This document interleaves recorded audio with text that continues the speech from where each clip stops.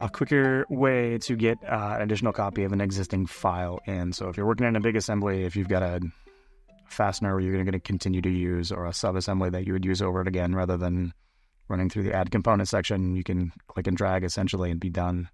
I think something everybody should know. It's one of those that just it's a small thing that saves you a decent chunk of time, anywhere from 10 or 15 seconds to a couple of minutes every time you use it. And depending on what you're doing, several dozen times a day. I mean, saves me hours on some of our bigger projects. The example of, in this case, so if you're going to add another dart to this assembly like we've got, uh, the way to do that would be able to go find this part. So in this case, this is called arrow copy. So if I'm going to insert that component, you would go up to your uh, command manager ribbon, hit insert component. It automatically launches in to go look for the part we need. In this case, it's, it's arrow copy. I can hit open.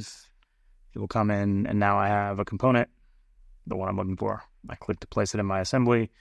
Now we can go through the process of uh, try to rotate this around and get us where, where we need to and made it into place. It's one way to do it. A faster way to do it, in my opinion, is to use your control key off a keyboard. All you have to do is hold the control key down. We'll do a click, drag, done. Now I have another one in the assembly right where I needed to. It's even oriented the same way as the part I copied. Uh, so you can do this out of the graphics window, which is really great. If you're looking around, I need another copy of this ring for whatever reason, hold control, click, drag. You can also do it out of uh, the tree over here on the edge. Well, if I need to take, again, that same ring, for instance, here's one of them. I hold control, click and drag from here. I get the same thing. So anywhere I can find the part inside the SolidWorks environment, I can use control to click and drag and get a copy right off the bat. Some people know it, they love it, they use it all the time. That's a no brainer. They learned it day one of SolidWorks. If you didn't catch that or you forgot it in the fire hose of great things you learned on day one, uh, it's a great refresher. And if you don't, know about it, you should be uh, you should be using this one. It'll save you a lot of time looking for stuff.